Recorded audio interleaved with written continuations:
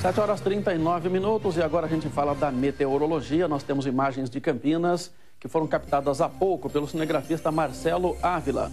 Você vê aí o horizonte já com nuvens, né? Tempo instável aqui na região de Campinas.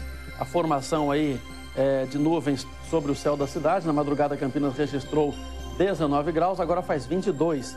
E a máxima chega aos 24 graus.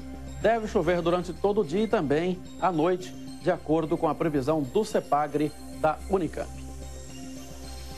E olha, um forte temporal de ontem à noite acabou gerando muitos transtornos no município de Santa Bárbara do Oeste. Também houve problemas em Americana. Quem tem os detalhes é a repórter Lucimeire Ramalho. Bom dia, Lucimeire.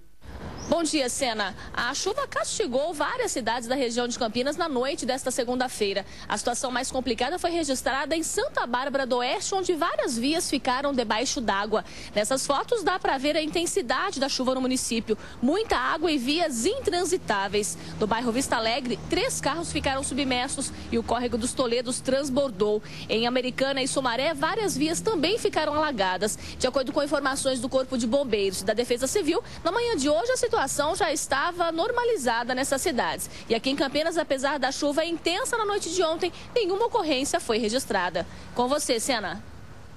Ok, Lucimeira, obrigado. E agora vamos dar um passeio pelo Grupo Bandeirantes de Comunicação para saber os destaques de hoje. Começamos com a Rádio Bandeirantes AM 1170. Quem tem o destaque é o, o Marcão, né? O Marcão, bom dia. Qual é o seu destaque?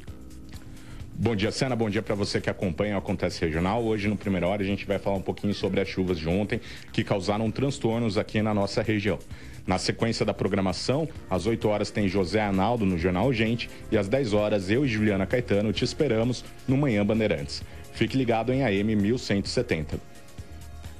Ok, Marcos Andrade, obrigado pelas suas informações. E agora vamos à irreverência e bom humor do pessoal da Hora do Leite que está no ar na Rádio Educador FM. Bom dia, Fabinho. Olá, Cena, bom dia. Hora do leite no ar aqui na Educadora FM. E quero só lembrar que dia 31 a gente vai ter um especial aqui das 91 a mais de 2014. Então a galera tá fazendo pedido ainda no 32716400 pelas nossas redes sociais. E dia 31, a partir do meio-dia, a gente vai conhecer as 91 a mais deste ano aqui, tá? E hoje no 32716400 temos 600 reais da mamata, é um presente de Natal da Hora do Leite. Também tem informações. Aliás, o Datena vai contar o seguinte pra gente. Datena, cadê o Datena? Alô, Datena? Datena, com você, é Datena. barbaridade, eu tô com vergonha, eu tô me escondendo.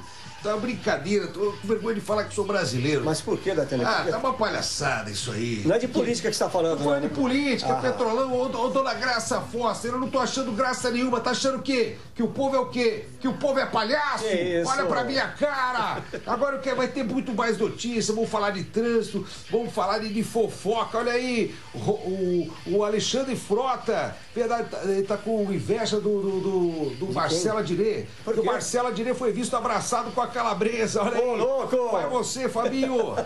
É isso. A gente tá aguardando a participação também no nosso WhatsApp, 982130917. Bom dia, Senna. Ok, pessoal, obrigado, bom dia. Olha, três universidades de Campinas estão entre as 25 melhores do país, de acordo com indicadores do Ministério da Educação.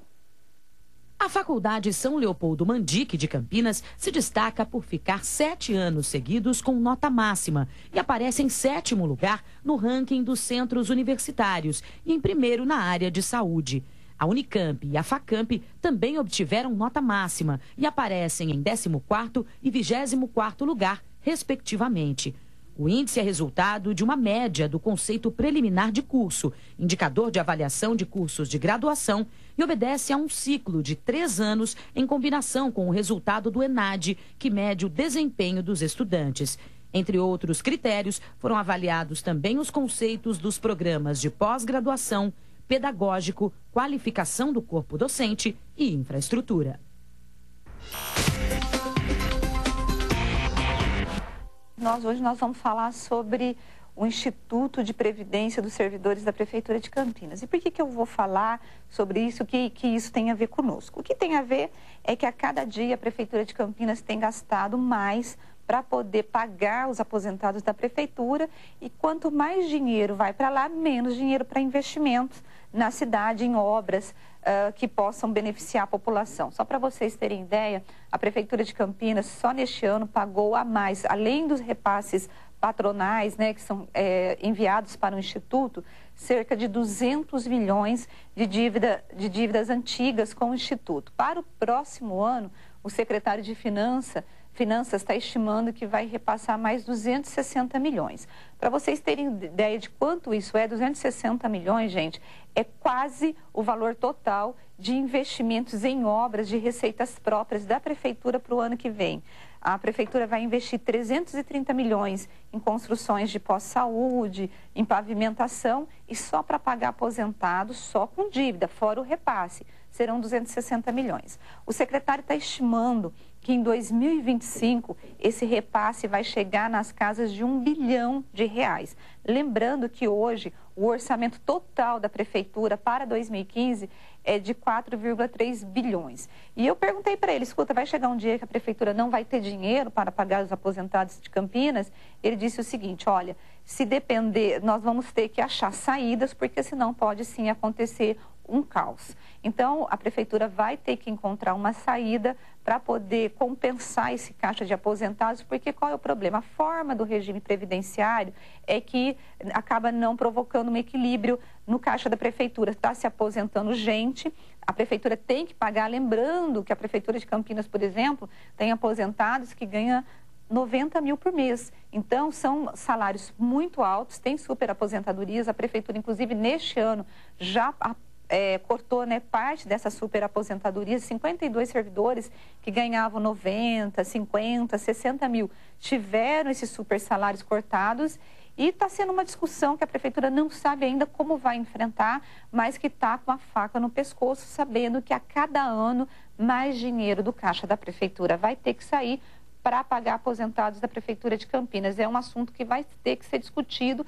e vai ter que se achar saídas para poder garantir o pagamento dos aposentados e também garantir investimentos que possam promover aí o acesso de serviços públicos à população de Campinas. Pessoal, eu volto amanhã para falar mais com vocês sobre política de Campinas e aqui da região. Bom dia para vocês.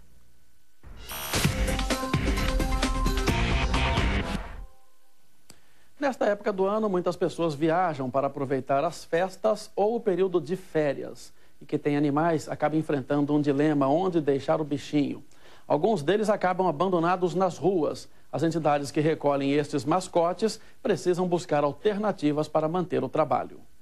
Todo fim de ano, o trabalho dobra em relação aos outros meses nesta organização não governamental de Campinas. São recolhidos nas ruas, principalmente cachorros, que ou escapam de casa ou são abandonados pelos donos. O pessoal vai viajar, não tem consciência na hora de comprar ou adotar um cachorro, então acaba deixando na rua mesmo. Tem gente que abandona friamente. Tem os que fogem também por causa dos fogos. Por causa de atitudes como estas, algumas ONGs que recolhem esses bichos acabam ficando sobrecarregadas nesta época. E muitas vezes só é possível continuar com os trabalhos com a ajuda de doações. Pensando nisso, essa empresária desenvolveu um projeto. Ela criou essas almofadas com estampas de cachorro e algumas frases voltadas para os bichinhos. Todo o dinheiro das vendas será revertido para o cuidado dos cães. Como a gente já está no mercado, é uma empresa especializada em almofada de decoração e tecidos, era a forma que a gente podia ajudar. A gente quis uma estampa bem divertida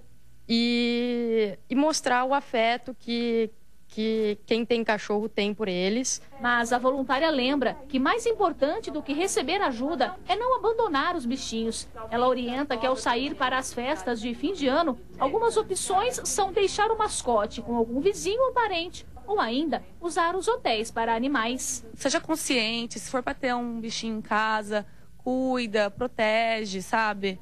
Porque você é tudo para ele. Você pode entrar em contato com a ONG pelo e-mail focinhoabandonado@hotmail.com.br.